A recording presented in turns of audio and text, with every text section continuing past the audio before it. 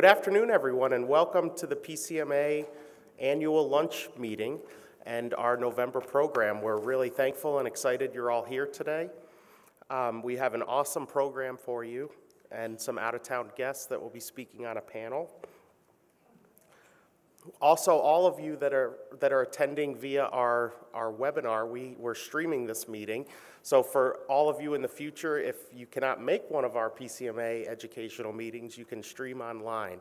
Thank you to Shepard AV for sponsoring that program for us at each meeting and making that possible. I'd like to, at this time, I'd like to give Marion Welsh a very warm welcome, a former colleague of mine and thank her for sponsoring uh, this venue and for hosting our lunch program today. So, Marion, if you'd come up, please.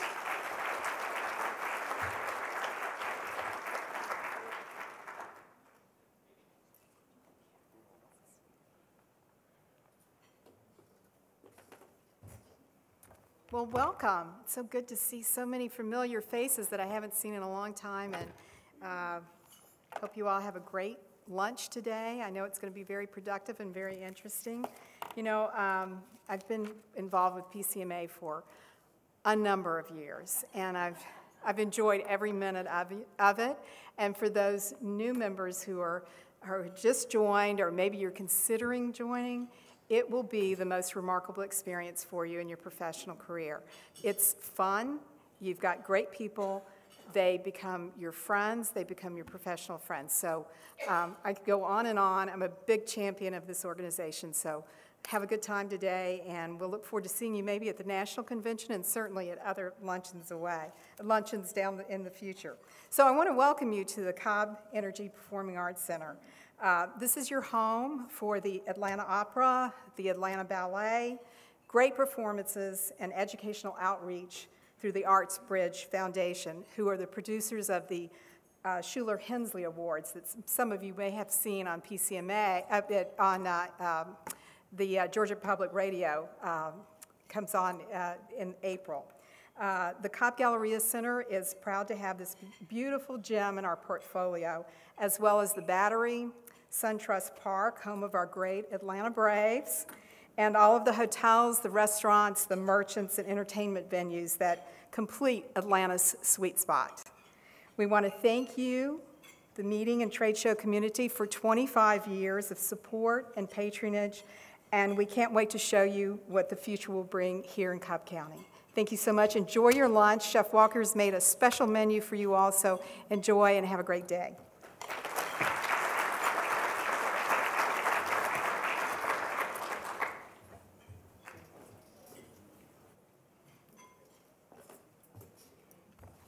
Thank you, Marion.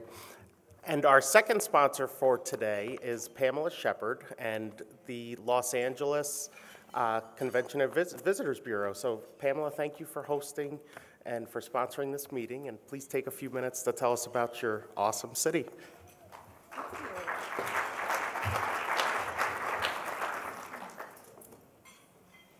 Well, thank you all for being here. Um, I can mimic a lot of what was just said, being in this Association and the industry and all the other associations for many, many years.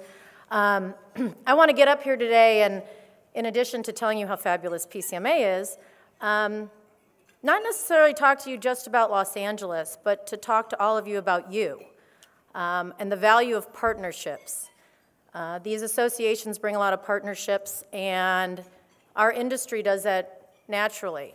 But many of you in this room, suppliers or planners, um, it's really about partnerships. And I know from a planner standpoint, you might reach out often to your hotel partners, your GSOs, NSOs.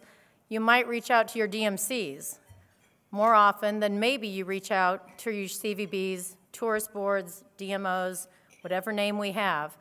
But whatever city, whatever country you do business in, I really encourage all of you to reach out to your CVBs. We are your link between what's happening in the hotels, what's happening at the venues. For instance, in Los Angeles, I could tell you, I could stand up here for over an hour easily with a city like Los Angeles and tell you all about the 8,000 new hotel rooms and the expansion at the convention center. Um, But you know, the convention center can tell you that, your hotel partners can probably tell you that.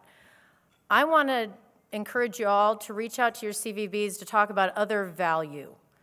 Um, For instance, how we can help you understand better the $14 billion that's going into our airport and how that affects all of your travel into Southern California in the future.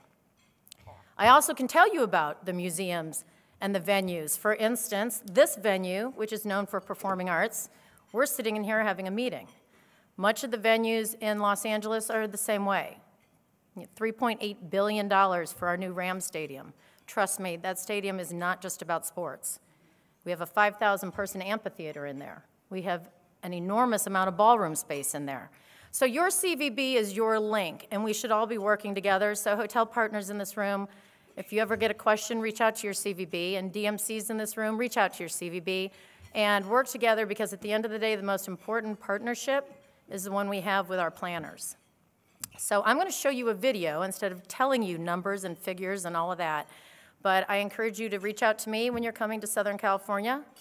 Reach out to my partner in crime, Miss Jennifer Hicks. If you're going to San Diego, call me first, though.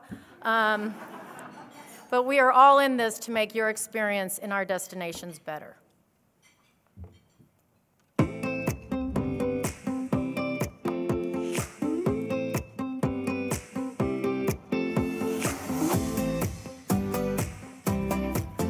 Our citizens come from more than 140 countries. In fact, we speak more than 224 languages. Our city's diversity and celebration of diversity is our most defining feature. If you think you know LA, you really don't know LA. We're on the bubble of so many exciting things happening, so many changes, specifically downtown. There's new hotels, restaurants, so many things that are happening that you have to come out and check it out for yourself because it's an exciting time.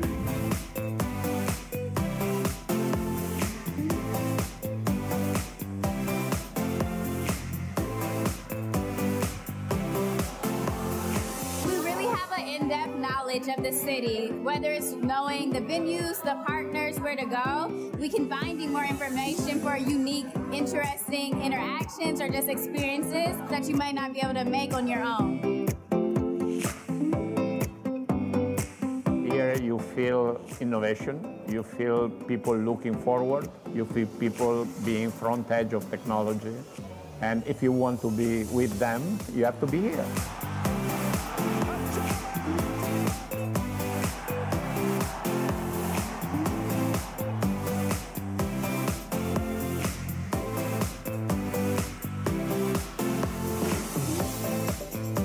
Angeles, one of the first cities to get 5G, also the first convention center to get 5G. We're talking about something that's so fast, that is so dense, that is so available, that all of a sudden you can start to think of new use cases. 5G is going to transform everything that we do and everything that happens across societies.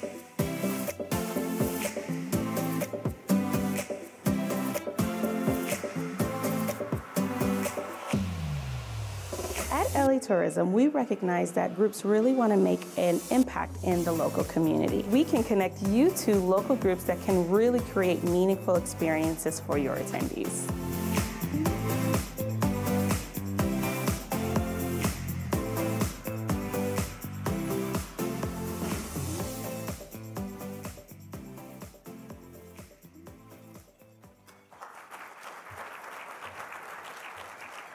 Thank you, Pamela, and thank you, Los Angeles, for being a terrific sponsor to our chapter. There were a few other sponsors that we'd like to recognize today that, that helped uh, to the experience of this event. Uh, one of them was AFR Furniture, so thank you for providing all the stage sets uh, that you're looking at today. Uh, a second was Livewire Coffee for providing the coffee stand out in the lobby that greeted you this afternoon. And finally, to the Cobb Convention and Visitors Bureau, um, at every meeting, they, they host um, meeting planners and allow those folks to attend with comp registration. So thank you for always doing that for us, Chris, and Cobb CVB. So I have, uh, this is, this is pretty much my last meeting in front of all of you as president, and I just wanted to say thank you. Uh, Thanks for giving me this opportunity and for allowing me to serve as your president this past year. I am particularly honored by the group of people that really did all the, the hard work and, and made all these events possible and generated revenue and provided community service. So I want to take a moment and just recognize those folks. And I'd ask each of you to come up here just for a brief uh, moment to receive a plaque and uh, for a photo opportunity. So if you could hold your applause to the end, please, I'd like to call up our current board of directors with, starting first with Terry Doherty. Uh, Terry was our past president. Thank you, Terry. Charlene Lopez. Charlene has run our sponsorships, and this past year, she set a brand new record for revenue for the chapter. So, um, very appreciative of everything she's done. Uh, Chris Colbert. Chris is our incoming president, and he has all kinds of great things uh, in store for you for next year. Michelle Lober. Michelle puts together all of these awesome programs for you. She's been our program chair. Mary Klein. Mary's in charge of our membership.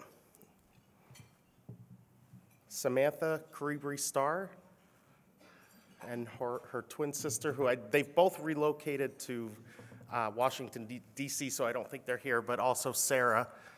Um, Edward Vargo. Edward's in charge of our volunteers. And Cassandra Ruel, or she, uh, Cassandra is in charge of all of our um, community service programs that we do as a chapter. And let me take these down.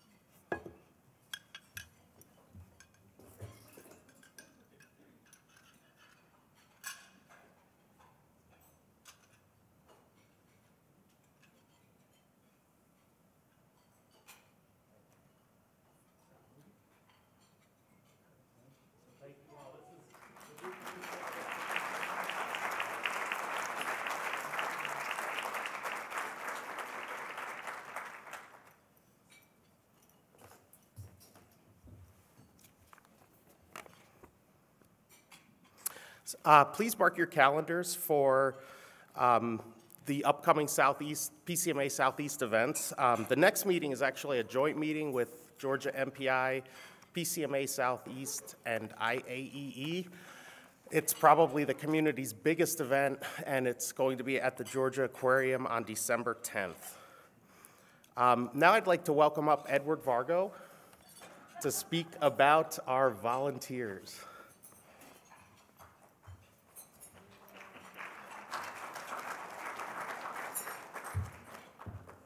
Thank you, everyone. This will be brief. Um, I actually thought I was supposed to go after the presentation. um, but I just wanted to thank everybody for coming today and to ask you all if you have the time and the patience, um, if, you, if you could volunteer with us. You know, PCMA is built on a group of volunteers.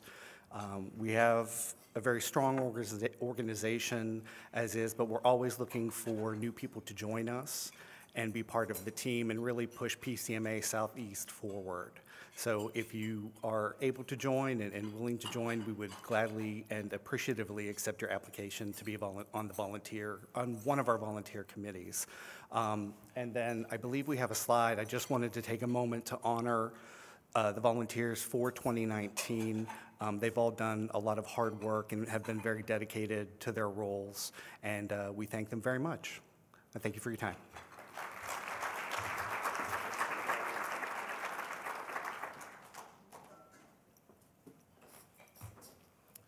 And finally, thank you to Brenda Dempsey, who sponsors our Volunteer of the Quarter for the PCMA Southeast chapter.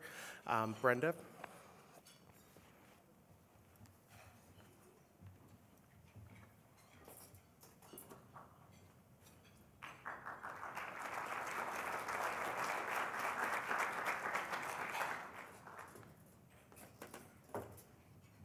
I wish I could say that I sponsor this award, but actually it's Nashville, so. And while Kevin was recognizing all the, uh, this past year's Board of Directors, I think he failed to mention himself. And I can tell you that as a past president of this organization, that is a huge responsibility and huge amount of time. So please join me in a round, uh, warm of applause, round of applause for Kevin. Because that is definitely a volunteer. Nashville is just so excited to continue in its sponsorship of the Volunteer of the Quarter and Volunteer of- the Year for PCMA Southeast Chapter. And uh, it gives me great pleasure to present this award at our quarterly meetings. Um, This uh, quarter's recipient is a member of the Southeast Chapter's Community Service uh, Committee. When asked why she volunteers through PCMA, she says that she finds doing volunteer work is not only self-rewarding, but also gives her an opportunity to meet and connect with new possible business contacts. When she says, why would she tell other PCMA members to get involved, she says getting involved in a committee or volunteering offers you more than an opportunity to achieve your career goals, but an opportunity to make new friends while helping your community. And I know those of you who are longtime volunteers within this chapter would agree that we all have made many lifelong friends in this organization.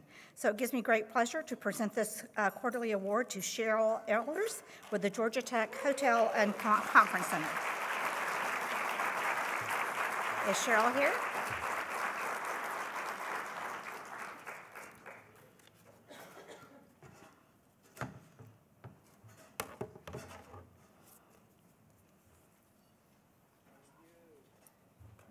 In the middle. How about that?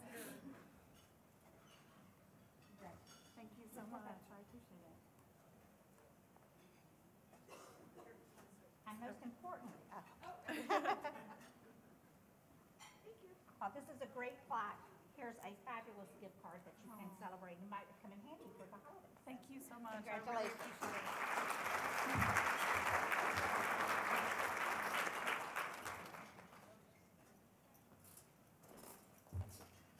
Congratulations, Cheryl, and thank you, Brenda, and the Nashville CVB for that awesome sponsorship uh, to continue the excitement around volunteering at PCMA. Um, Before I bring up the, bring up uh, David McCauley to talk about the panel, I just want to take a moment to recognize Janae Peltier, who is here from Washington DC. Um, She is our board liaison for PCMA National Chapter. So Janae, if you don't mind standing up, um, just in case anyone has feedback to give her or has comments, you can grab her after the meeting. But thank you for flying down here today to spend the afternoon with us, Janae. So we're, we're extremely excited about this incredible panel of meeting planners that have been assembled. We have some out-of-town guests, but David McCauley is here to uh, speak about all of them and uh, moderate the panel. So David, you're welcome. The loo. Okay. Oh, that's all right. Happens to the best of us. We'll draw this out, Nancy. Looks like you'll get to eat.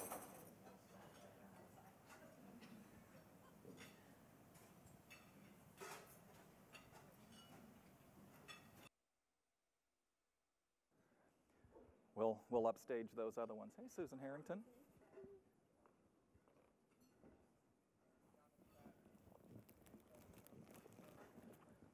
We keep it on point here in the Southeast chapter, huh?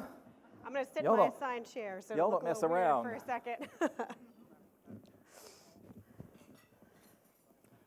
All right, Akshay, here we go. Carson, I told you it was going to be a little, I, I said you had a minute to go, go potty, but nature calls, happens to the best of us. Akshay?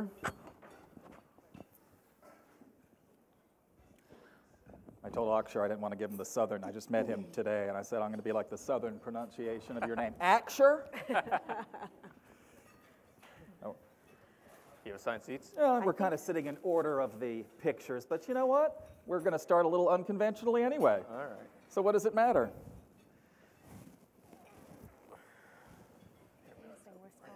Phelps go to the Phelps go to the bathroom? Yep. They do it. Yeah, that's all right. Could you do a little side table here and I'll, I'll just pick at it? You know I like a martini.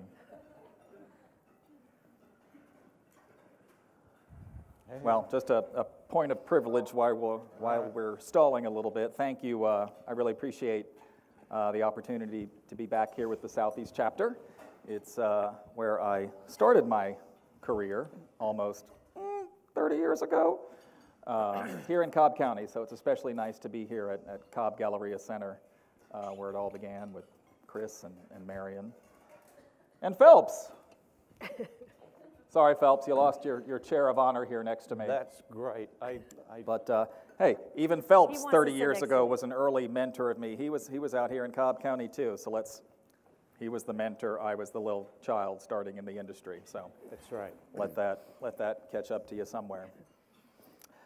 But guys, why don't we uh, go ahead and start out with just some introductions? Um, I always like to hear, as a supplier myself, not just about your organization, uh, a little biographical information, but uh, tell us a little bit about your meetings portfolio. What's your kind of the size and scope of maybe your largest meeting, but maybe a second or third largest meeting that might be contained in a hotel? And do you do anything here in the Southeast, just out of curiosity?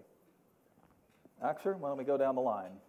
Sure. So um, I am uh, representing AAHOA. It's the Asian American Hotel Owners Association. Uh, we're the largest hotel owners uh, association in the world, pushing about 19,000 members currently. Um, nearly more than about half the hotels in the country are owned uh, by either our members or uh, development companies.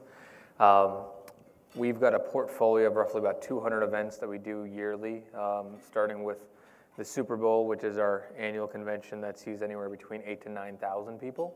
Um, and then it ranges anywhere between uh, 100 people all the way to 500 people. So we've got about 20 regionals that we do, um, about 100 plus town halls, uh, five to seven educational workshops.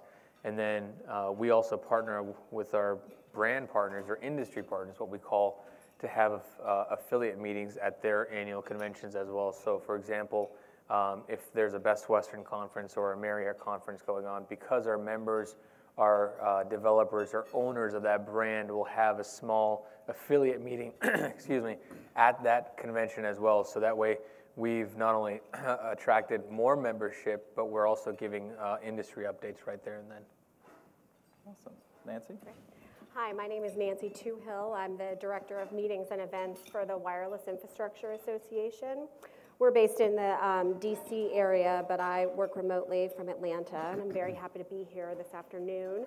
We have one large annual convention that's about 3,000 attendees. We have two smaller conventions that are in the 500 attendee range. Um, those are mostly in hotels, and then our annual conference alternates between large hotel properties and convention centers. And then we have a awards dinner every fall that's usually contained in a hotel as well. Kirsten, not Kirsten? I'm Kirsten Aline. I'm the Director of Meetings at the Cystic Fibrosis Foundation. I've been there for about two and a half months. Um, and so it's my first foundation experience, and it's, it's very different and really cool. Um, so we have a, the large North American Cystic Fibrosis Conference, which just finished um, Saturday night in Nashville. Um, I only would say yes to this for David McCauley. um, so I'm still a little bit brain dead. So hopefully, hopefully I'm going to be able to rally for you all today. But um, so we have the the the NACFC, which is about 5,000 people, um, and then we have um, a few smaller conferences that range sort of from the 300 to 650, 700 range, and then just a ton of small stuff. I'm still discovering everything that we do um, and getting a, a, handle on our portfolio. I believe NACFC's been in Atlanta in the past, Mhm. um, and I'm sure, you know, I'm sure if David has his way, it'll come back here. Um, but uh, looking forward to being here with you this afternoon, so thanks for having me. I'm, I'm based in uh, the DC area, so thanks for having me here as a, as a guest today. Fantastic. Welcome. Thanks, David. Uh, Phelps Hope, and I think I know most everybody in the room. If I haven't met you, let's chat afterwards. So I love meeting our folks in the industry. As the Senior Vice President of Meetings and Expositions for the Kellen Company, uh, I'm the division head uh, for the folks, the professionals within Kellen who manage all of the meetings and trade shows and symposiums and board meetings and any kind of live event at all for the uh, 100 plus associations that we manage. We are the only global association management company, so with staffed offices in Beijing and uh, Brussels and offices in Singapore, Mumbai, and Bahrain. Uh, we uh, tend to, to have a high international component as we uh, cross-pollinate through the industries that we have. Um, we do about 300 meetings and events and trade shows every year, uh, everything from 25 people up to about 4,000. So we like to say that we've got a program for every property everywhere. Uh, it just depends on where they're heading, where the group is heading, and uh, of course it boils down to rates, dates, and space, right? Uh, we, can, uh, we, can, we can talk about just about every other program that there is out there. Well, good. Quite uh, a brain trust here. There are kind of five overarching topics that we want to cover today. Uh, and I'll run through them real quick if you want to be thinking about them. And if anyone has any questions, you are free to jump in whenever, whether you have a microphone or not. I'll hear you. But uh, they're creating engaging learning environments, uh, sponsorship and the implications of that, uh, integrating health and wellness into your meetings, uh, safety and security, uh, and then we'll land on contracts, which is a little mundane but always important. Um, Phelps, I think we uh, thought that you might be good to go first, talking about creating new and engaging learning environments. And then yeah, the others, absolutely. please be thinking how you might tag on. Thanks, David. Uh, because we have a, a, a, huge and varied portfolio of different associations, we start out with two particular points. One is what's the strategic goals of that particular organization? And that works for whether it's association or corporate or a charity group or what have you. What are they, what are they in business to do and what are they trying to achieve at this particular event? And then the other point is what's the behavior of the body? What the, the attendees, who are they? What are their buying habits? What are their behavioral habits? Are they younger and more nimble in the technology or are they more established? Are they surgeons? Are they plumbers? Because it's great to set up an engagement program and you find that they don't use social media, so they're not involved at all. Uh, so we start out from that, so we build our profile. Then we understand, well, how do these people engage? Uh, how do they engage in their daily lives? How do they engage in their work life? Uh, is it a mobile workforce like surgeons? They're not, they don't really have offices, so they're not sitting on the internet and, and, and doing things so to communicate with them. Uh, or the airline industry, for example, dealing with uh, the, uh, the folks who service the airlines, uh, the gate agents and ramp uh, uh, operators and, and the flight attendants and so forth. So we'll understand that first, and then uh, we build that into the venue itself. Where are we going, and what does the venue offer, and then we adapt into that. We find that, uh, as a rule, David, that the attendees nowadays want to engage more one-on-one. -on -one. So we set up casual conversation areas with floating topics, or we'll put a subject matter expert in them. But again, we'll, we'll utilize what the venue has and, and tuck them in corners and, and redesign the ballroom. If we've got a lot of space to, to play with, we'll, we'll get more creative with it. If we're in tighter space, we make sure that we're flowing people around. But the bottom line is it's that one-on-one interaction and how do they communicate and how can we perpetuate that communication so that there's more value for those attendees. Kirsten, I recall you did some interesting things when you had a former organization of yours had a meeting in Atlanta, but whether it was there or anywhere else you're doing it. Yeah, and I'll say I'm, I'm so early at um, CFF that we haven't really started, I haven't really started, you know, looking at those pieces for our meeting. Um, but I was previously with the American Society for Microbiology, and we put a lot of emphasis on creative learning environments. Um, it was a very traditional scientific meeting, and the reality is that you're never going to take away their desire to stand in a room and scroll through, you know, 100 slides in 20 minutes with um, rich, deep data in it that you can't see from the back of the room. Um, you're just not going to take that away from them. It's how they want to present their science. So we sort of took an approach of, well, we're not going to try to take that away or change that, but we're going to supplement it with the types of learning environments that we know are really conducive to people making those connections um, and we really had a lot of emphasis on sort of that content-based networking. And so um, we built on our show floor um, what we called um, hubs, track hubs. We had eight programming tracks, and we built a hub for every track on the show floor. It was a 40 by 40 footprint, so pretty significant on the floor. And we had lots of shorter um, learning opportunities there, 30 to 40 minutes. Um, intended to be more engaging, not traditional seating, um, not, you know, we used the catch box microphones and to try to keep people engaged. And so we did a lot of programming in there. Um, we also built a lot of learning environments around in the public space, and Atlanta was the first place that we really did that, where we called them, um, I think, what did we call them? Lounge and Learns, I think, which I totally stole from another organization. Um, but we would do, you know, rapid fire poster talks in there. We would broadcast a lot of sessions into that space, and, and we would broadcast the general session to that space. When we were here at the Georgia World Congress Center, we said, hey, you've got a bunch of TV monitors above your bar. Can we commandeer those and broadcast our general session there? And they said, sure. So we did that. Um, so just know, kind of understanding that people don't always want to sit in a dark ballroom or sit in a room and absorb content, and they may also be trying to multitask and do other things.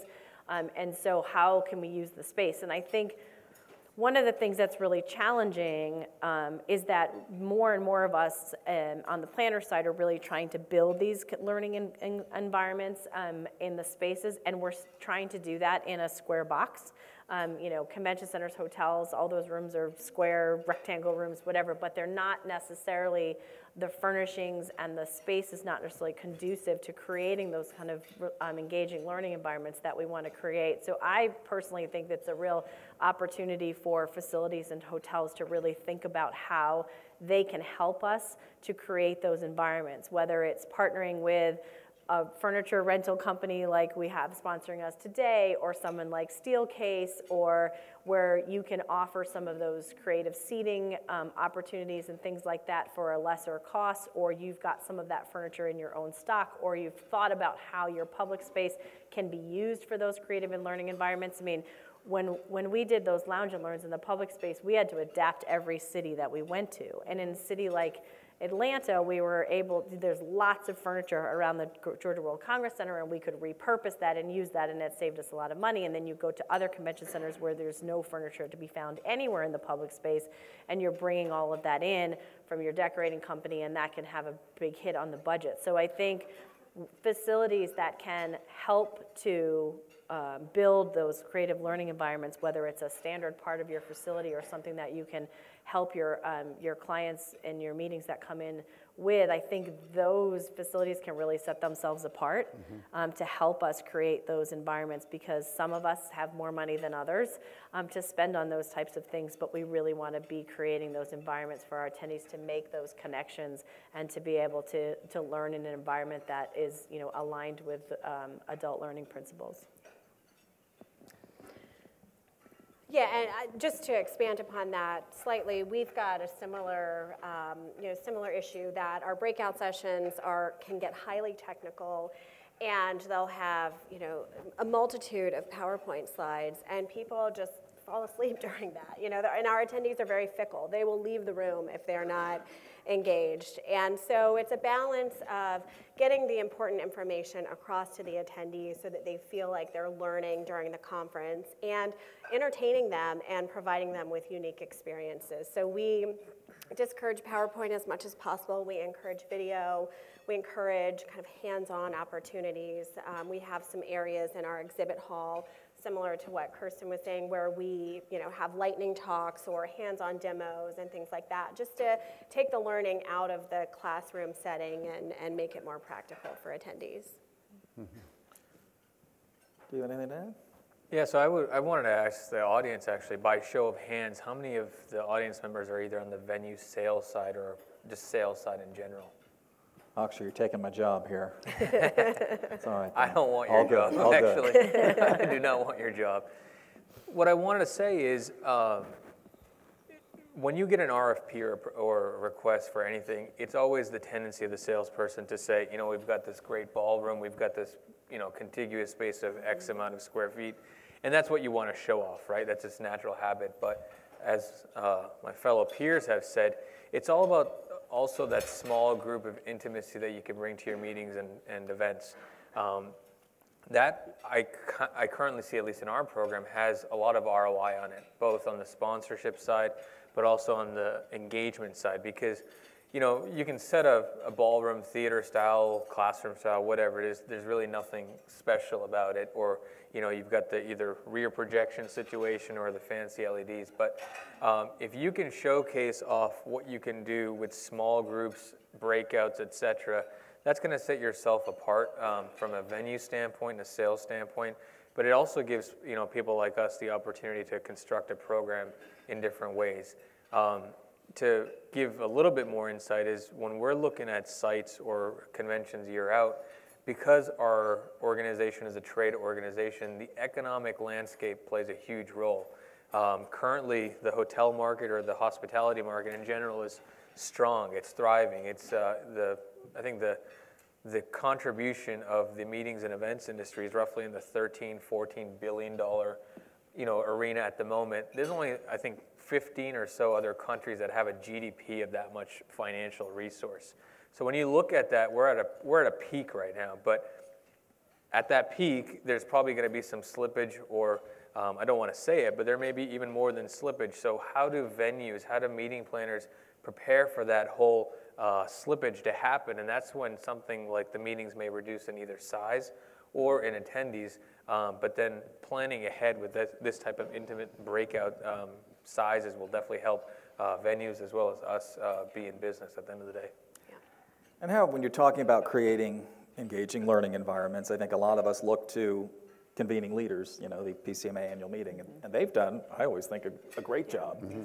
Have any of you, do you have any examples of where you saw something at convening leaders or any of the other industry organizations and thought, well, yeah, they did it for free for them, but were you able to successfully uh, replicate it at, at your own events?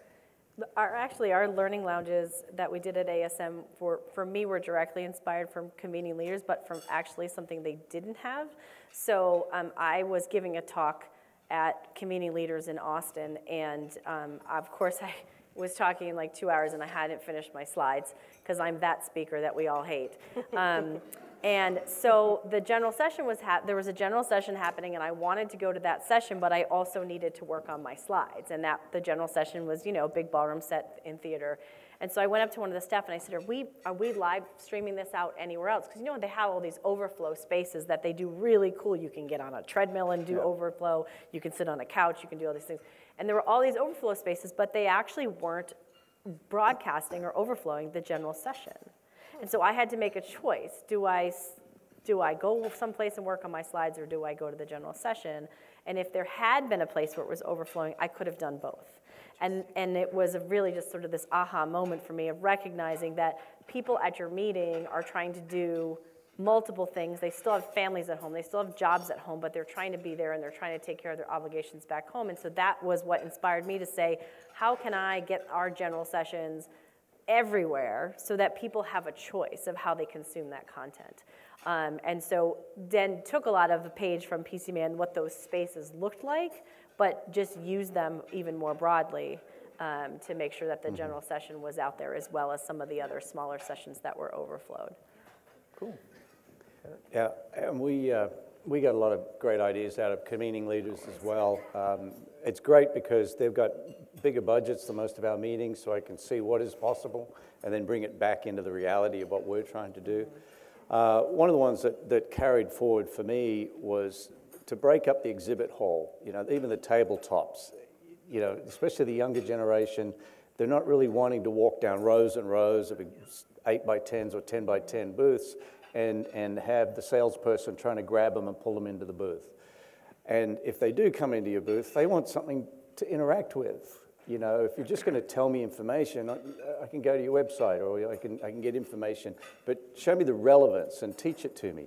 So I saw at uh, PCMA, and uh, I think it was in Vancouver, and it was the, uh, the, the, tech village, the tech central kind of concept where it was little small bites of technology, mm-hmm. and you come and play for a little while. You know, the, uh, the, the salespeople are there as advisors, but they were really low key. They weren't pushing mm-hmm. So you didn't feel like you're getting locked into lengthy, long conversations and having to repeat. They just, you just got a chance to touch on it and then follow up later on, which was a, a unique experience. We've carried that through on a number of our conferences, including our own corporate meeting, um, so that we can display technology in an interactive environment that's in small bites. So then you, as the attendee, get to make up your mind what the application might be for you. And if you think there's a possibility, providing that uh, opportunity for follow up later on. And that was a different experience for us. And having personally felt it, I was able to build on that on many of the conferences that we're doing.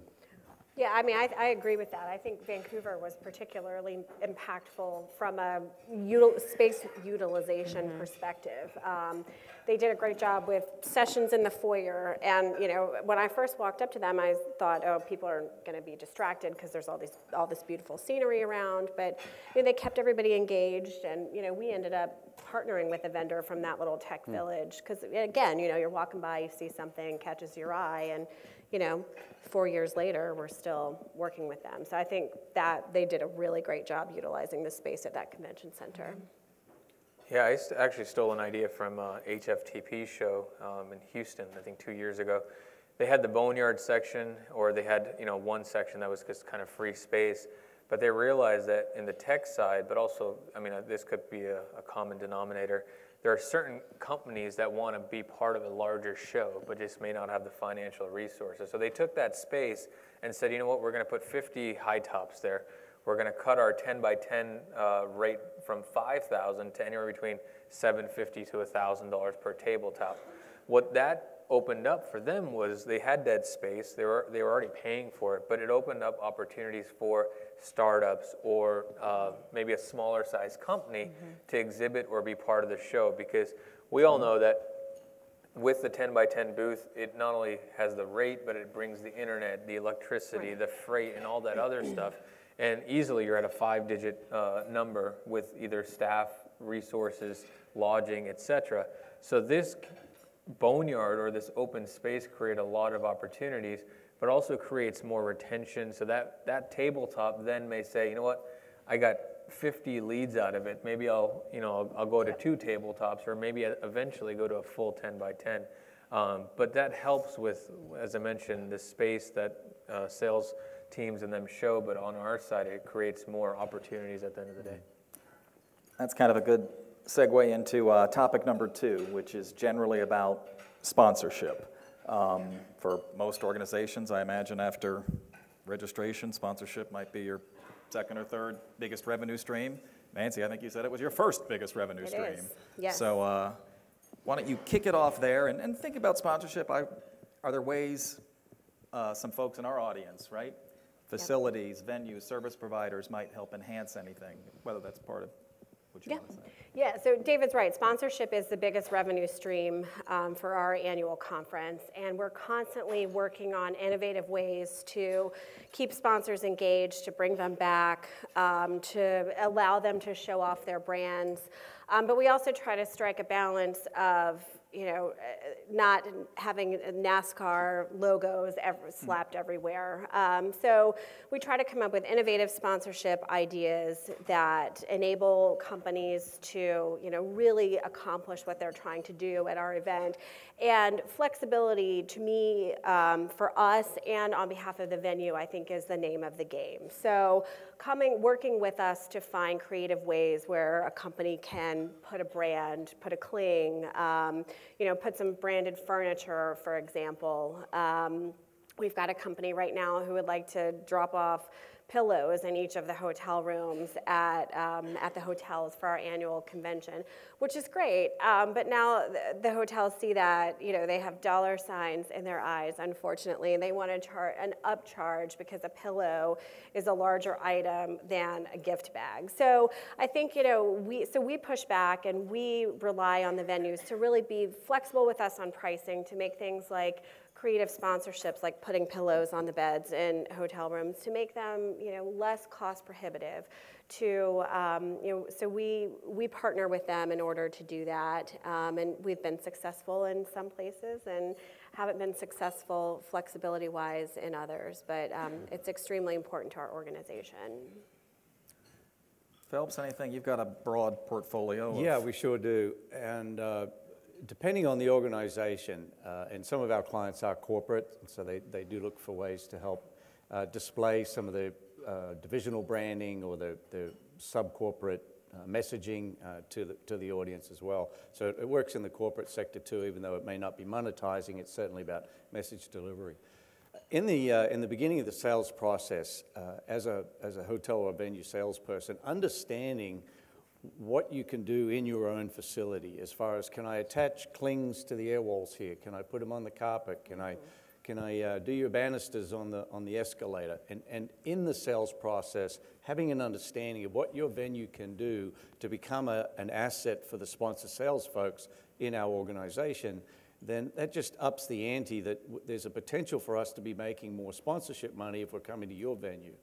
Uh, to flip it around, there's some facilities that are extremely restrictive, and you can't do this, and you can't do that, and you can't do that, and it, it reaches a point that we just it doesn't make it viable. That Yep. you're not really a partner. You just want to sell us catering, Take meeting space, and hotel rooms, and not really interested in the goals of the meeting. We're trying to make us achieve, help us achieve what our goals are. To that, it goes back to the first comment I made uh, at the beginning of the segment here that understanding the strategic goals of the organization, well, the organization that's booking it, but also the sponsorship group that's a part of that organization. You know, who are they? Are they a whole collection of mom and pops, so you need little 250 and $300 level sponsorship availabilities? Or are they big corporate entities that, that are quite happy writing a check for 15, 20, 30,000 dollars? Uh, some facilities want to charge you as much for the floor cling as I might be able to get as a sponsor item, so now it's no longer a viable opportunity. Uh, or it's going to cost me more than I could potentially get, get, get revenue for it. So it's, you kind of price yourself, I call it the old baggage fees. And, you know, they just, just keep adding fees and adding costs because, yes, I get it from a venue standpoint, but understanding who the client coming in and do you have flexibility to say, you know what, we can probably give you a few of those, or you know what, we can we can cut it to make it price, uh, you know, within your marketplace, and then it it is no longer a barrier to us booking the facility or really having a great experience in the facility because, you know, especially for association work you're probably going to get a repetitive booking out of it if it's a huge success. If we made money as an organization, if we were able to boost attendance and boost sponsorship and, and, and all the success factors metrics that we're meeting, if your venue was a key part of that, well, guess what? You're top of the list for the next time we're going to rotate through. So th- there's a, a longer term as well as the short term booking um, uh, uh, benefit uh, by understanding who the group is that you're coming in uh, to, that's coming in to look at your facility. And there's a- a very little bit of homework carries a lot of weight. So if you've already looked at the website of the association and looked at their annual meeting or the series of meetings that they're looking to come in, and you see the sponsor perspective or the exhibitor perspective, you can see what the pricing is. You can see what their offerings are. Oh, I see that you like to put clings on the windows. We can put them over here, over here, over here. And already you're a part of the conversation, and I'm not having to explain the first time we meet who we are. A little bit of homework goes a long, long way. I agree with that. Akshay, I would think your organization would have a lot of sponsorship opportunities. Am I? No, you're right. Uh, a couple of years ago, I did an exercise where I took the day in the life of an attendee and walked that that city or, or, or that venue. And to me, it was where am I going to be uh, the most during this period of time, that period period of time, and at night. So I'm saying this publicly. You guys are all going to laugh. My members love to drink, not water. um, and they like the good stuff. Mine too. they like the good stuff, the Johnnie Walker Blacks and so forth. So what we took that was we, we, we took that to say those are sponsorship opportunities. So I think Jennifer Hicks from San Diego, she's in the room somewhere. So last year when we were in uh, San Diego, we rented out the Gaslamp district. And there's a company out there that um, does a block party type situation. So we contracted a block party, and then I think it was eight to nine venues that we that was in our contract. We took each venue and sold it as sponsorship. So each brand or each company would then have the opportunity to go in, brand the place how they wanted, food and beverage all out the door, etc. But we found there was more ROI in that rather than providing uh, standard buffet dinner at the convention center, and then standard entertainment. So that opened doors for us to say the, the companies had you know, full attention of people one-on-one. The attendees had a good, memorable experience. Um, so we, we, we're looking at non-traditional sponsorships as well. So even in the hotels, um, at the Grand Hyatt in 2017, that small lobby bar in San Antonio, if some of you know that place, we generated $120,000 in just bar revenue over two and a half days. And uh, the, the, the, general manager said, you know, I don't know if these numbers are true. And I'm like, no, they're true. Yeah. Trust me. they're true. Uh, and he's like, well, I've never seen this, this type of number come through. And I said, well, you know, I'm bringing this business to you, but it, it opened more sponsorship yeah. opportunities for things outside the convention center. And I think if you if you go to your sponsors or your exhibitors or your financial stakeholders, et cetera, and actually paint this picture, um, they're going to be more accepting of doing that. I know Kevin's in the back of the room, but him and I always exchange ideas, even on the trade show floor. Our Kevin, you can speak this, but I think our floor has grown at least five percent annually. Would you say in the last four years? So even better. So I'll, t- I'll let him take the credit for that. uh, but we went from 100 and uh, I think 80,000 square feet in 2016, and I can't look at a convention center now less than 300,000 square feet of a continuous space. But what that did, it creates sponsorship, it creates retention. So I would strongly suggest on the venue side or even on our side, look outside of your traditional sponsorships. Yes, an elevator wrap looks great, but the elevator wrap is only going to be seen maybe twice, thrice, under what circumstances, yeah. at two in the morning or at seven in the morning, whatever that looks like. Uh, but you, you, everyone in the room should always start thinking outside the box to make sure that the financial uh, stability, but also the retention is there. Yeah. Mm-hmm. Well, I love that, and I, you know, as a lot of us that are destination representatives in the room, we always want to get people to engage in our cities. So and I know my colleagues and I are always trying to get people to do creative things outside of the convention center. But in your San Diego example, did you take the financial risk? And most people say no, and they decline the opportunity. Oh no, we couldn't take the financial risk and, yeah. and guarantee all the food and beverage minimums at those eight restaurants. But. Yeah, we took the risk. I mean, um, we still paid a little bit out of pocket, but it was enough to cover the essential cost of what I would have been doing traditionally at the convention center. So um, it was a big, big risk. Uh, my, my CEO, he's moved on, but him and I went to battle a lot uh, in the sense of do we do this, do we not do this? Um, when him and I agreed to do this, we've, we have four other officers on board that we got to bring them on board. So they're looking at the numbers like, oh no, I mean, uh, love San Diego, but as everyone knows, it's a pretty expensive city. So when you look at the numbers and crunch all that together and you've got to pre- present a, a budget, they're like, oh no, this is not going to happen. On top of that, I threw in Petco Park, which is not a e- cheap ticket either. So they were kind of uh, they were they were not happy when they first saw the numbers, but we took that risk, and uh, I won't go back and, and make a, another decision. And, and, we came out uh, on the positive rather than wow. the negative for sure. I just want to say I'm certain you could do something like that at LA Live. Pam, where are you? Sorry. David. If I can add to that, Akshay brings up a great point. As he was identifying uh, a behavior of his audience with the, uh, with the bar tab, if you will, so he's able to frame that out and then communicate it forward as he's looking at venues and, and help pre-plan it.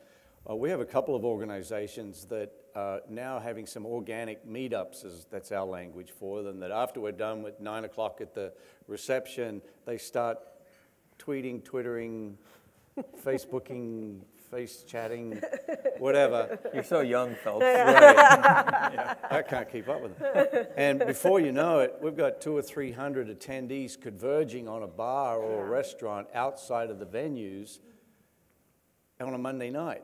And there's not a restaurant in town that's staffed up on a Monday night for an extra two or three hundred people. And, uh, but we're noticing this kind of organic trend. And so uh, for one organization, we, uh, we, we identified it and we were able to get ahead of it and work with our bureau partner to bring in a couple of the restaurant owners and so forth. And we, we put together, uh, there was no risk to the association. It was just a matter of alerting the restaurant and gearing them, steering them over to that way.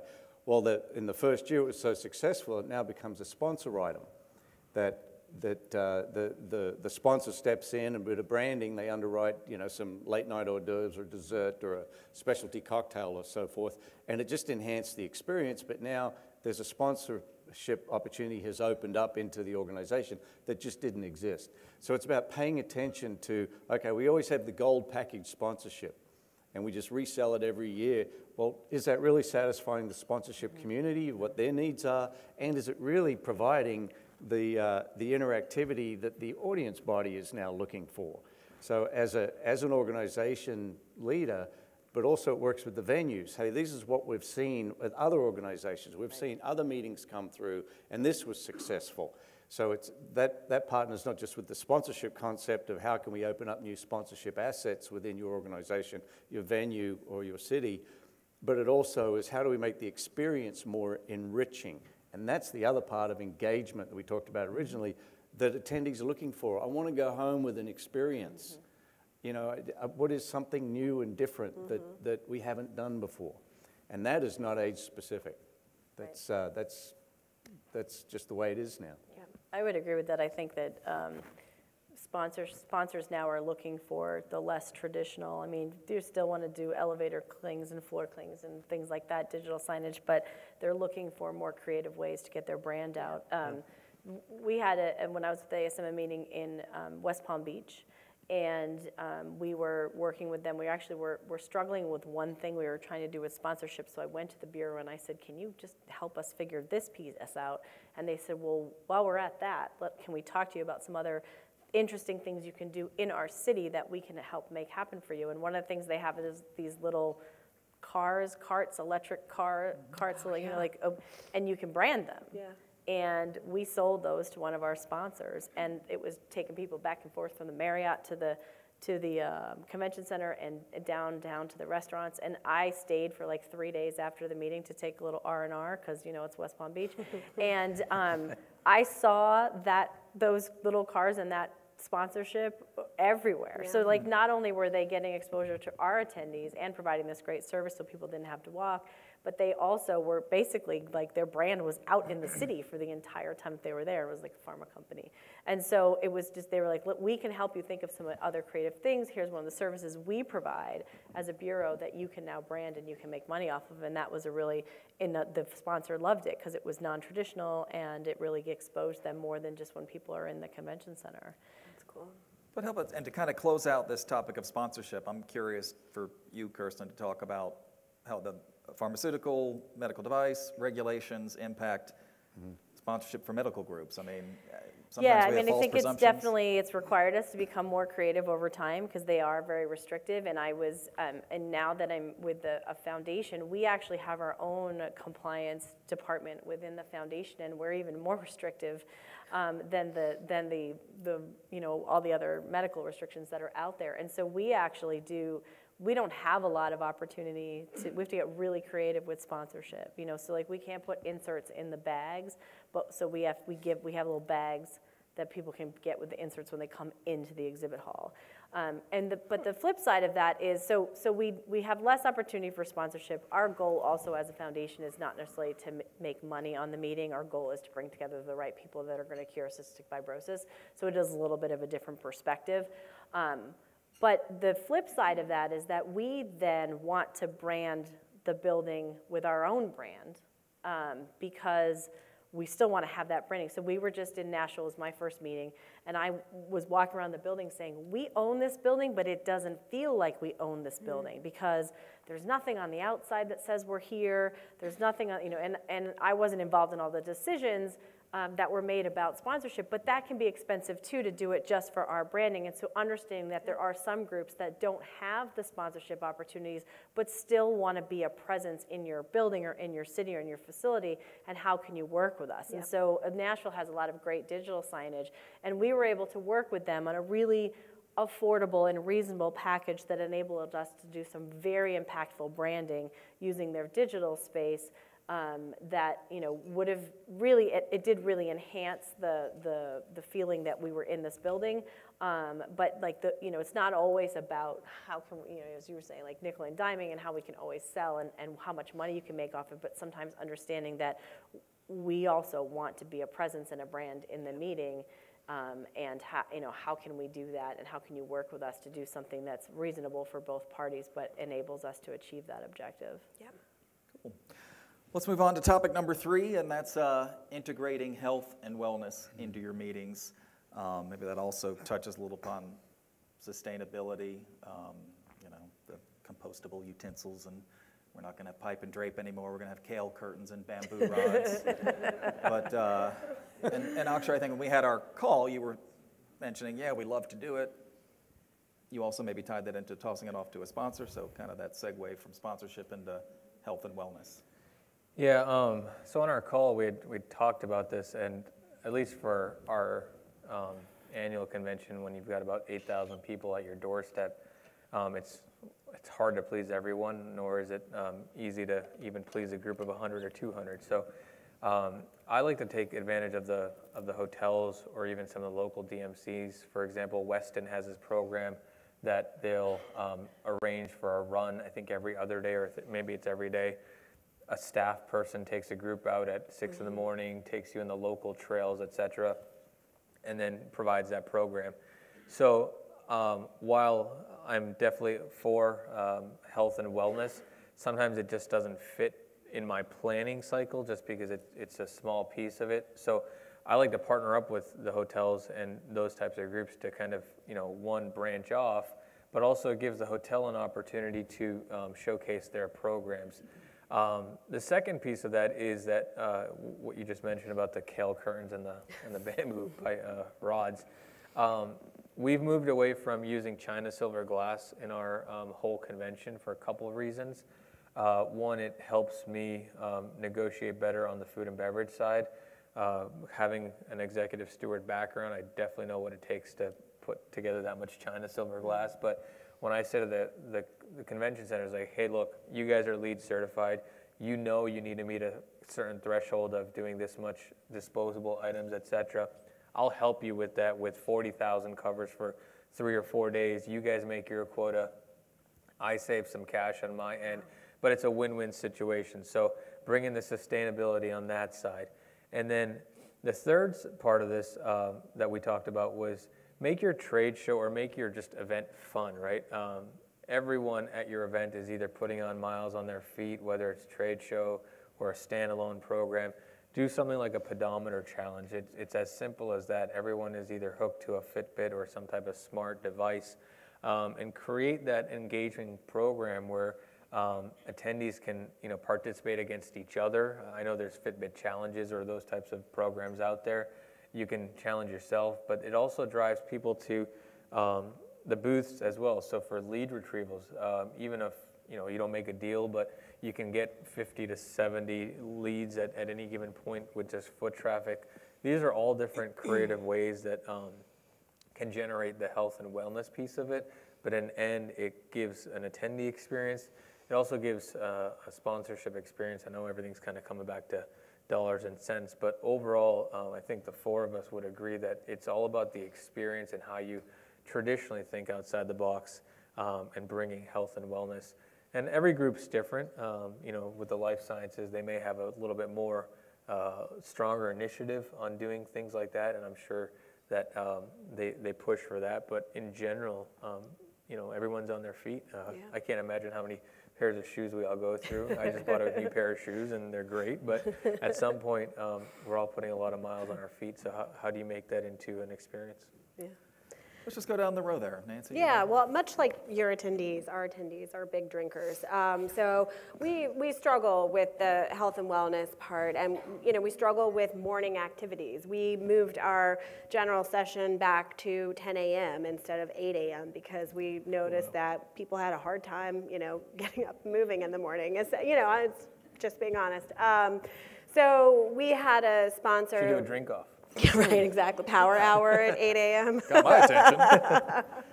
so we had a sponsor last year at our annual convention ask if they could host a yoga class at 7.30 in the morning, and we said, sure, by all means. Um, here's a room, you know, or you can use this pool deck, I think is where they ended up doing it. And I, they were very disappointed in the number of attendees that were there. Um, out of 2,500 attendees, I think they had maybe 50 for their yoga class. Um, so, eh, you know, it's it's not something that our attendees are necessarily seeking out, um, but we will continue to try to offer them creative, um, creative ways to implement health and wellness and sustainability. Um, but it, at times it backfires on us as well.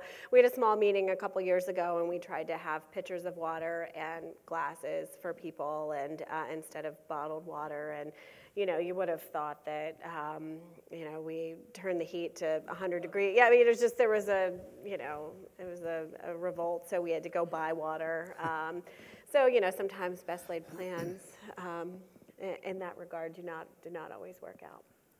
Well, Kirsten, when an organization is all about health and wellness, in the medical world. Yeah, and it's interesting. At CFF, we're not currently doing any health and wellness, but it's certainly something that I'm looking to integrate. And I think it's really about when we think about people's experience at a meeting, we have to think of them as a whole person. And I think to my example of earlier of like, I need to do work, but I also want to watch the general session. So it's thinking about our attendees as people and not just as like participants that paid a registration fee to participate in the events is you know, these are people who maybe they typically do, you know, have an exercise routine at home, or they have to connect with their family at some point, or they need to connect with work at some point, and making sure that we're creating an environment in which they can continue to do those things that are important to them, whether that's, you know, an exercise class in the morning. One of the things we found to be most su successful when I was at ASM was the like running tours that were sort of a tour of the mm-hmm. city and running, and we would get 40 or 50 people at 6.30 in the morning to do that. But now docs wake up early,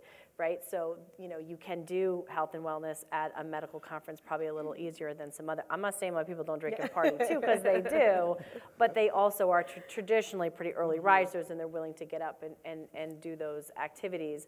Um, but then thinking, you know, about the environment that you've created throughout the day to make sure you're giving them the space and the time to be able to make those phone calls or connect back to their family or all of those pieces if I can just put my PCMA board hat on too and just do a little plug for the way PCMA does it, if you've been to Convening Leaders or to EduCon, you know that that is a foundation space, right? So the PCMA Foundation does um, a run, usually a 5K walk run, maybe it's not 5K, I don't know. I, I don't usually do that one. Um, it is a 5K. I do the 1K. I'm not yeah. a runner. No, it's 5K. Um, it's a 5K, yeah. and then they do also a yoga classes like Namaste with PCMA, and um, they, you know, then you can, um, you can get up and participate in those and you pay a fee to do that and it goes to the foundation and there's also a sponsorship opportunity so somebody is usually you know giving out water with their name or water bottles or something that uh, that they're sponsoring that event as well and it's a it's a charitable um, contribution to the foundation. So that's another way if your organization has a foundation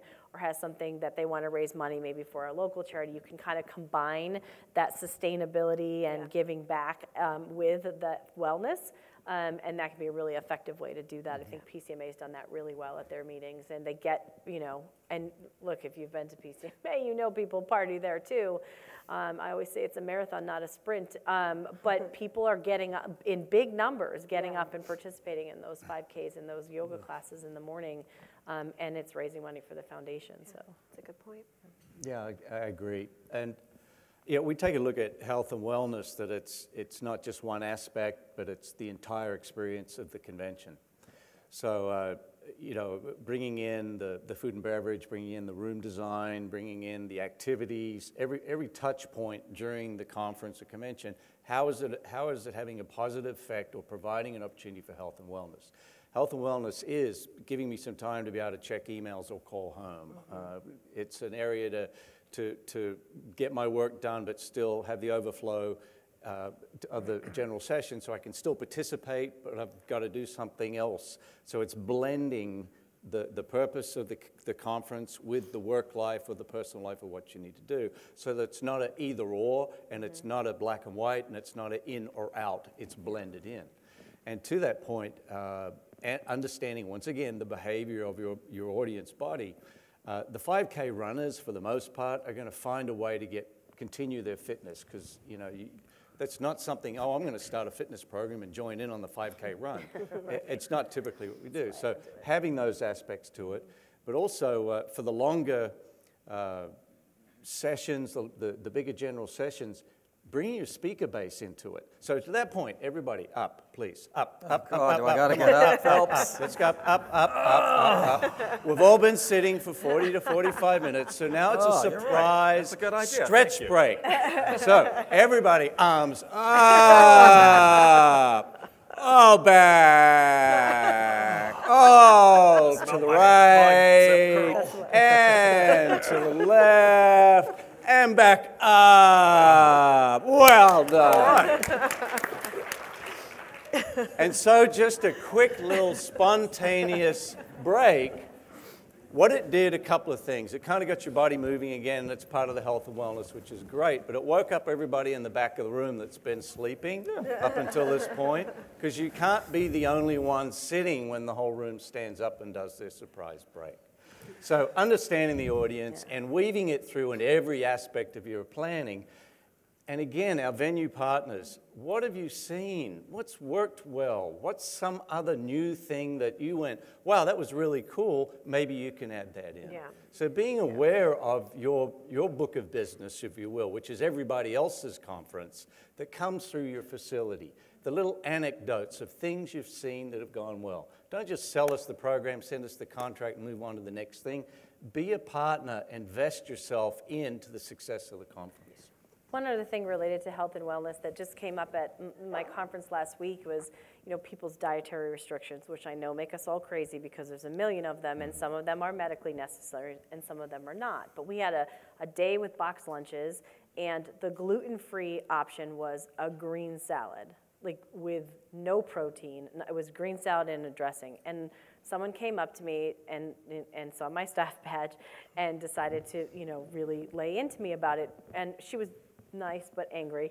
Um, but but it was a really it it really was sort of an eye-opening moment for me. And she said like, this is my only opportunity to eat today, right? I've signed up for this event. I'm, I've gotten a buck lunch, and this is all I've gotten, and I'm going to be starving in half an hour. And you know, gluten like she was gluten free, I think, and she was like, gluten free is for me a medical condition, mm-hmm. right? And some of us are also diabetic, and we need, so it was just this really like really made me think like we need to be better about having conversations with our facilities to say what are you doing about dietary restrictions? What are you offering? And really understanding what those meals are so that we, we are sure that those people that have dietary restrictions are still having a fulfilling food and beverage uh, experience and also just making sure they're getting what they need for their, their own health and wellness. And we sort of, I think it's something we just defer to the facilities. We've got X number of vegan, we've got X number of, and we just assume they'll go and take care of it. But there really is this ex- expectation now that you are going to provide a meal that is equivalent to the experience that someone is having who has not made that dietary restriction. I think is a really important point for facilities, and I think it's something we as planners need to take more responsibility for and really ask those questions and make sure that those those experiences are going to be good for those people because to them it's you know sometimes a matter of life and death and for the, or, or it's a matter from of another piece of that puzzle of like their holistic you know experience at the meeting that's a great point Thank you, Phelps. I'm canceling my four o'clock Orangetheory. you just saved me 50 bucks. All right, topic number four uh, that we could spend a whole day on is uh, safety and security. Um, sometimes we think of the, the big issues, hurricanes and natural disasters, or other more ominous things, but uh, kind of bring it to a practical sense. What are implications, safety and security, that are impacting uh, your meetings? And Kirsten, I think when we talked, you mentioned you wrote the first emergency plan for Yes, when I got to um, CFF, I discovered that they didn't have a crisis management plan, had never had a crisis management plan. Um, and that alarmed me for a meeting of 5,000 people. Um, and so we put together one for our meeting this year, which, you know, our risk management people were very happy about. Um, but just, and we didn't, you know, thankfully have any major incidents, but we had a couple of medical issues during the meeting. And, you know, what I, what I noticed is that, like, my team, of course, was one of the ones who were dealing with that. They knew exactly what to do. They knew the protocol. They knew they needed to, you know, let me know. They knew they needed to get an incident report. Like, uh, there was no question about what needed to be done in that kind of situation. And our crisis management plan generally has, you know, information about, you know, where we meet in an evacuation, what kind of documents we should have, available in hard copy. You know, if we can't get, get can't get access to the internet and to our computers, um, you know, who who's responsible? Who are who's the crisis response team? Who's the you know um, going to handle things that we have? We divide our crises into level one, level two. Level one is going to mostly be dealt with my team. Level two has to get escalated to crisis management. Who speaks to the press? Who is responsible for speaking on top, track of the officer? Who's making decisions about whether or not we cancel the meeting? Those types of things, and understanding what the facilities responses are. Because we can plan for all the big things, but the reality is if there's something really, really big, your facility, for the most part, is going to be managing that crisis and your local emergency responders. But making sure that the staff knew what the, what the, how to handle all those level ones. What's the protocol? Who do you need to tell? Who do you call? Do you call 911? Do you call the facility? You know, do we have EMTs in the building? All of those pieces, it's just a matter of making sure that people know how to respond, who to, who to loop in, you know, I mean, we actually had a really interesting conversation with our security company at our meeting because they said, well, we're not going to give you a copy of our incident report. We said, well, we need to have a copy of the incident report. And, and helping them to understand that our obligation to the person who is, for lack of a better word, victim in that situation. If we had a medical emergency and we had to send someone to the to and put them in an ambulance, well, the security people put them in the ambulance and they're done, mm-hmm. right? Right up the incident report, that person is gone. Well, our policy is that we send a staff person not a meeting staff person because we don't have time, but someone, you know, there's always 200 other staff there, right? We send a staff person to be with that person at the hospital. We make sure that their family's been contacted. If they need to extend their reservation at the hotel, do they need any special accommodations when they come back to the hotel? Do we need to get them a flight home? We are, we want to take care of that person until they are finished with whatever crisis they're in and are, are back home again. And that's not the responsibility of the security company. And if we don't have the information we need right. to be able to do that, we can't do that. So having those conversations with your security partners in your facilities and helping them understand how you approach a crisis and how you take care of your attendees, which is different from how they handle an event in their facility. For those, I think, smaller everyday incidents that are maybe not life or death. But they are um, something that's happening to your attendee and need to be addressed. We'll kind of open it up randomly, whoever jump in.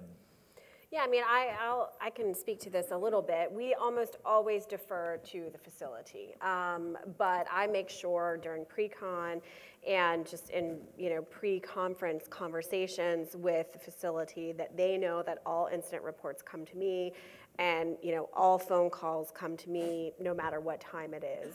Um, you know call 911 first call me second. Um, because i need to know what's going on with our attendees for the same reason that kirsten was saying you know do i need to speak with the family do I need to, um, you know, check in on the attendees? We had somebody that had chest pains during our conference a couple of years ago and had to go to the hospital, and the hotel did the exact right thing. They called the ambulance, and then they let me know so that I could follow up with the person. He ended up being fine, um, but you know, I need to know these things because you know we are, you know, we feel a level of responsibility for attendees. So it's extremely important that venues communicate with planners and that we communicate with the venues right. to let them know who, who they contact. I mean, the majority of our incidents are somebody had a little too much to drink and, you know, they're wandering the lobby. What do you want me to do? Well, get them to their room or, you know, get them off the couch in the lobby and get them to their room. Um, but in the, in the rare instance that we do have a, you know, a medical emergency, it's just a very clear communication mm-hmm. of, um, you know, what the next steps are after calling 911. I think um, while the facility is one fold of the whole situation now, even the programming is as pushing or deriving the security or the protocols that you have in place. Mm-hmm. Um, well, I can't get into too much detail, but um, just recently we we had a situation that came up that we were going to have this profile be part of our convention, but there was a there was an a, event uh, that happened where it kind of um, posterized uh, some of the background of that person's profile, et cetera. While there's no connection, while there's not even a, an ounce of any kind of, um, you know, conspiracy thinking, whatever you want to call it, uh, we started getting phone calls in the office like, hey, what are you guys doing about this? And I said, nothing. I mean, it's not connected. It, you, can't, you can't base anything off of one event to one person to what may be a domino effect. But it got to a point where we were pushed at the office so much that we had to make an executive decision. Um, we then also got in touch with this person and said, hey, look, we have not an issue of whatever the situation is. We know that there's no connection. We want to make sure that you're comfortable in yeah. being with us at that point. Um, and it came to a point where um, that person said, you know what, I'm going to have to pass on this. But on our side, we had to kind of reshuffle the whole situation, right? We don't want to be in a situation where we portray ourselves that we're not letting this person be part of our program, but we also have to look at it from a, an optic standpoint that how do we, how do we still survive in, in the, the mainstream media? Luckily we did, but to bring it back to what I meant by programming is that you know sometimes there are certain events that happen in the news or in, in geographic areas that may um, rise up on the controversial side. Whether you're in a city that believes one thing and you're trying to do something else, well, it's not a bad situation, but you know you're you're trying to fulfill the membership piece, um, or even on the keynote side, right? Um, it, it is very hard to secure maybe a keynote or someone even from the administration to be at your event six, eight months out, mm-hmm. and they may not even tell you until six days or sometimes even six minutes before, like, hey, the governor's you know, two blocks away, he thinks he or she thinks that they can make it, and next thing you know, you've got canines everywhere, and it looks like a pedigree convention. Um, so all that all that plays into the the role of safety and security, but. Uh, you know, the long story short is that it's twofold. It's a it's a logistical facility piece of it, yeah. and it's now also becoming a programming piece mm-hmm. of it because um, you know your attendees want to make sure uh, they want to feel safe and you want to make sure they feel safe because you don't want to get those types of calls or the, that type of media press, um, you know, going into or coming out of a convention. So yeah. um, I think it's a twofold from our side, but also on the on the venue side is when when you are looking at RFPs and bookings, um, to ask yourselves that question that you know if we do book this, it's a great piece of business, but let the ops teams know this could happen, or even yeah. you know a year out when you're planning things um, you know, Google Alerts is the best thing that ever happened uh, to a, lot of us that, that give us that notification, hey, something's going on on the other side of the world. Mm-hmm. Hey, I want to make sure we get to our last topic, which is contracts. So we'll kind of do it in an expedited way. I think I've mentioned to you guys we might do like a lightning round and just give me a buzzword or a buzz phrase of the meetings industry that's on your mind right now. It seemed like most of them were going to kind of jive with the issue of contracts. Uh, anyway, so uh, here, Phelps, you want to, since you didn't get in on that last one, sorry, I owe you a conversation about safety and security. oh. yeah, we can, we right. can stay on your uh, buzzword I'll keep contracts. it simple. Uh, I concur with everything that, that my esteemed panel has talked about, but it boils down to communication. Uh, part of the planning for communication, and then the other part is the chain of communication. So planning for communication. Do, you have, do we have emergency contacts for our attendees? So if someone does have a medical issue or they're gone, lo- they're lost or they're incapacitated somehow, do we have someone that we can reach out to? It's as simple as that. Mm-hmm. Uh, then with the building itself, what is the building's uh, security plan? What, what do they have? What is for fire and uh, evacuation or active shooter or medical situation? Uh, in some cases, especially the larger buildings, they don't want us to call 911 because it bypasses the in-house security. So the mm-hmm. police show up to a certain door and the security guys have no clue what's going on. Yeah. So it delays expediting the situation. So instead, they have a hotline and they, you know, we tell them to call 911. They immediately are patched to the local emergency response folks. So when they know where to show up and what's going on, and they're a part of an existing emergency plan. So have I communicated to the facility that we want their plan? Have I communicated to our staff or to, uh, to, the, to the leadership what those plans are so nobody goes off the reservation, if you will. Yeah. But it's all about communication, and as, as, as Kirsten said, um, you know, having a crisis plan, it, it may not be a 27-page document. It may be a, a, single piece of paper, depending on the complexities of the program and how many people are involved and, and, and what's the threat level. Uh, threat level could be storms, threat level could be the environment we're in, uh, that we're in a certain part of town, of a certain town that's having some issues. Uh, so, whatever that might be, just being very conscious about it and communicating. So, in our last three minutes here, I just want to touch on anything. I did say kind of what's your buzzword or what's, what's a topic of concern in the meetings industry. And if it can relate to contracts, let's just quickly go down the line, Kirsten, and then if we got time, Phelps, we'll end with you.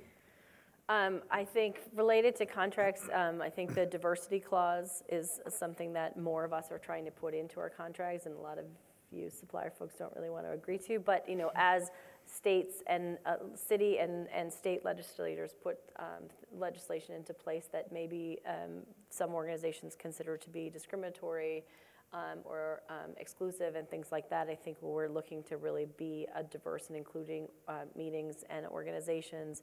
We're challenged to put our, um, our meetings into those cities. So I think that is um, one thing that is becoming more and more popular and a little bit difficult to define, um, but something that is really on our radar screen to make sure that our meetings, uh, people that come to our meetings feel like they're inclusive. Um, I will say my other probably hot button issue is what I, is becoming more of a trend, which is the pre-walk, um, where it's like, well, we're going to tell you six weeks out, 10 weeks out that we've over, we've sold into your block and we've oversold. Um, and we consider it not to be a walk because we're telling you six weeks out. And I think that that it's becoming more and more common. Um, and I think that we're going to start to see contract language change in order to help protect organizations um, against that. We That wouldn't be the little revenue sidebars. managers, would Yeah, right. Because I want to keep talking about that, but we'll do that afterwards. But Right. Nancy, what's your one hot topic? And I'm going to look very shallow um, now, all right. but mine is um, AV liaison fees. Those just send me through the roof. We prefer to bring in outside AV, um, but I just am, I'm working on a contract right now, and they're trying to charge $350 per day per room for us to bring in outside AV, um, and we're worth working every through penny for the. AV we've had today. Thank you. Yeah, we're working through it. Um, I think the, the biggest thing for us is the food and beverage. Um, the ops teams and the accountants need to understand that a dollar is a dollar, whether it's spent in your outlets or on the banquet side. Um, you know, while I'm asking for maybe a lower room rate, I'm going to give you back hundreds of thousands of dollars in a different way. Um, and the teams just need to be more flexible because, as I said, a dollar is a dollar. Doesn't matter how you dissect it on the back end, um, and it's going to one bank account. So on the selling side, it, it may make some of your lives a little easier. And uh, Starbucks makes a lot of money, by the way. Yeah. Phelps, unless you have a Uh, You know, buzzword. the, uh, the age-old is attrition fees. Um, I'm seeing, you know, I, I, I agree that it needed to be put in place as a long time, last century, I was a hotel sales guy, so I understood about sandbagging, but then uh, we, uh, oh, you want 500 rooms? Six, you're going to grow, right? Yeah, 600 rooms. Well, uh, at least it made us better business people by having attrition, but now it's turned into a revenue manager tool, and I'm seeing the, the uh, slippage allowance shrink. Yeah. Now I'm seeing very commonly 90% attrition, which makes it very, very hard for a, a, a member-based organization who is attracting people to the conference rather than dictating that people attend the conference. So being better business partners as we run into these clauses, the, the, the message I want to send is put it in context. Who is this body? What is the history? Who's managing it? How, how have we had problems in the past? Analyze the piece of business rather than just lean on the template and say, no, that's what it is, and I can't, I can't move forward.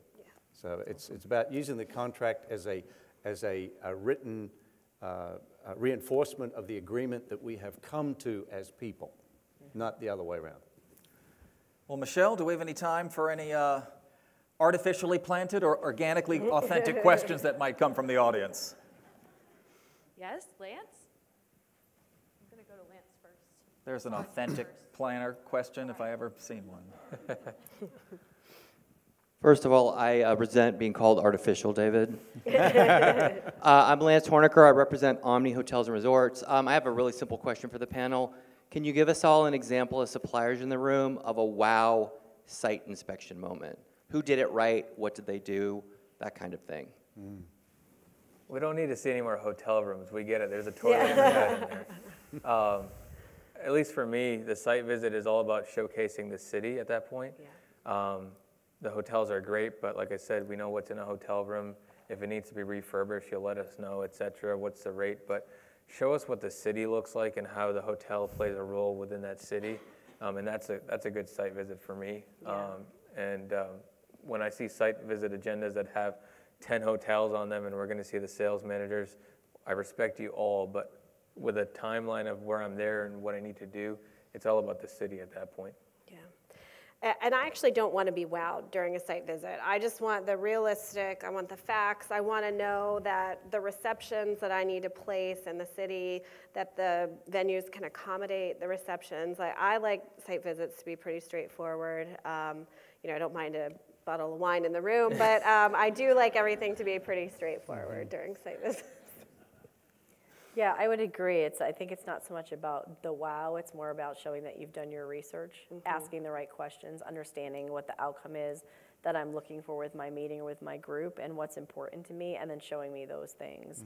Um, I'd rather, much rather, I mean, I'll take the bottle of wine Yeah. room too, but um, I'd much rather um, n- know that you understand what, what I need as a group and that you're, and you're showcasing that than to, you know, be wined and dined or wowed or, you know, in that, in that sense. I, I would concur with that, but add one. So the wow for me, Well, Lance. that's two bottles of wine. Yeah, the two bottles of wine. Uh, the wow for me, Lance, would be the homework that you've done, that you understand the group coming in, and now you, you're vested in our success, so you understand that we, whatever the suite configuration we need, or whatever you know the interactivity of these these type of challenges that we've had. But the second part is wow me with what makes your building, facility, your employees, your staff, the location, what makes it different? Yeah. So that I don't have to walk outside the hotel to remember what city I'm in.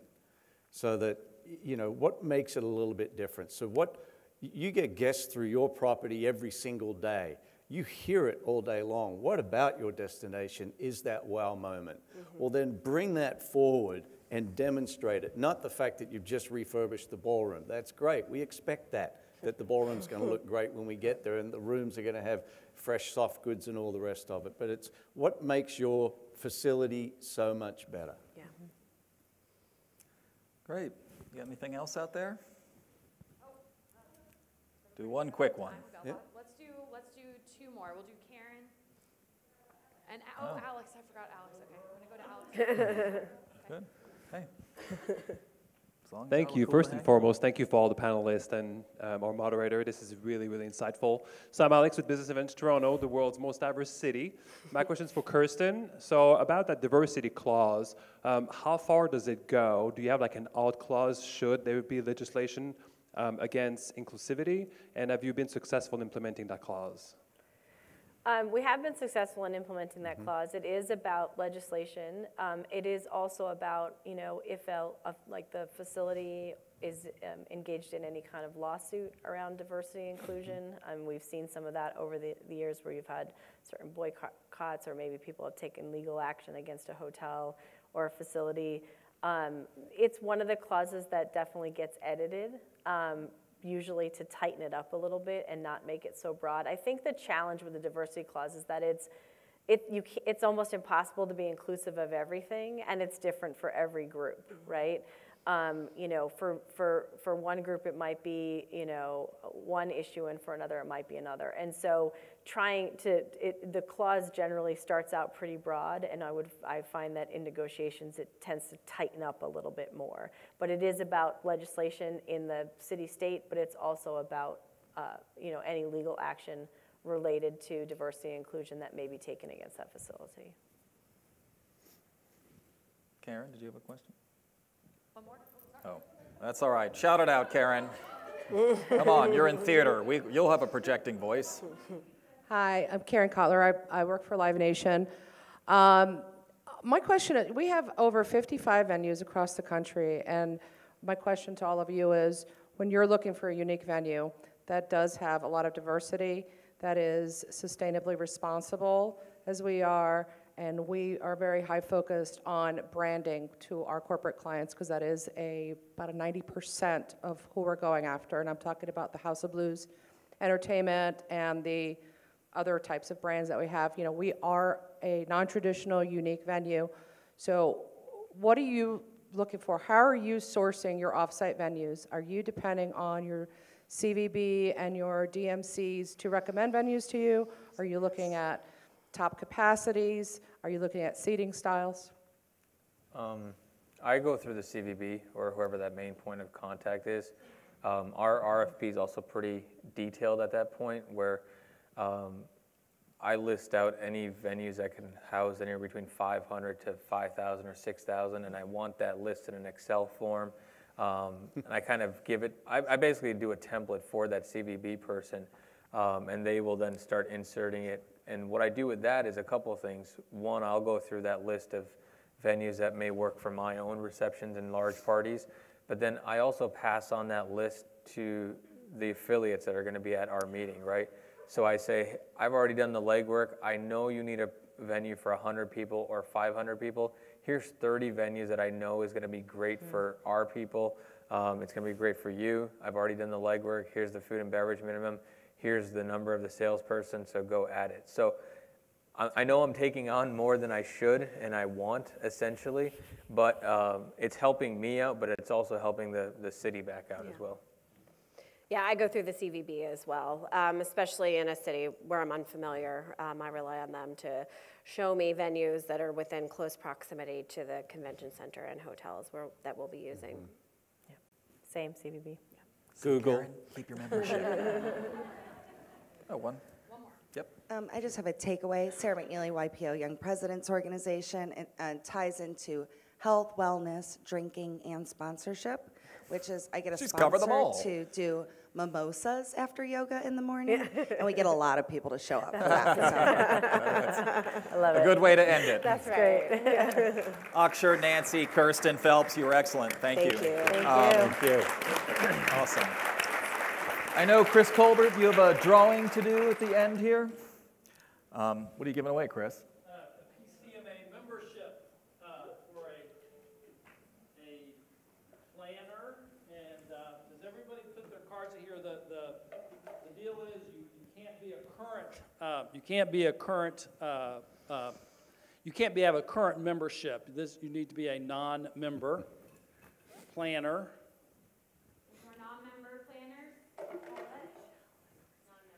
Pretty good. It's all right. Thank you.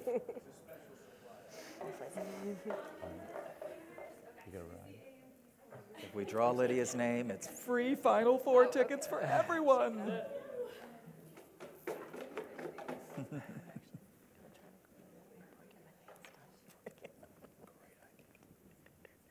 Kimberly Jackson with the Sheraton. Oh. Although I think that's a right, supplier. Kimberly. Kimberly, I think you're a supplier. Sitting right next to Chris. I'm sorry, honey. You'll win the next thing. Paulette, good job. Yay. All right, I think that's it, everyone. There are surveys on your uh, tables. If you guys wouldn't mind taking just a couple minutes to fill them out, it really helps us out. So, unless there's anything else from anybody, thank you. Thank, you Thank to our you. wonderful you. panel. Appreciate it. Awesome, guys. Akshay, good to meet you, man. Thanks.